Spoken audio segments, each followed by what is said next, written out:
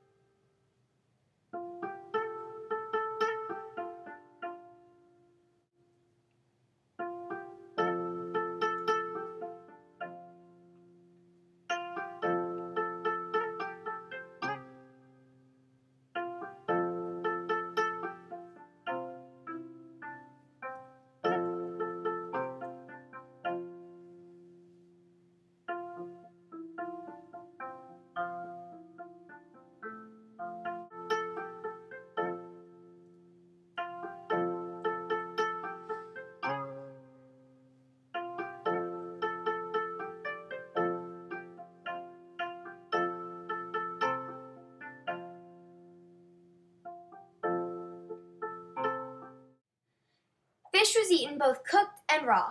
It could be made as sushi, boiled in broth, or salted and dried in the sun. The main types of seafood Japanese people ate were squid, octopus, shrimp, cuttlefish, eel, clams, mussels, crab, lobster, tuna, salmon, cod, sea bass, sardine, shark, and even whale.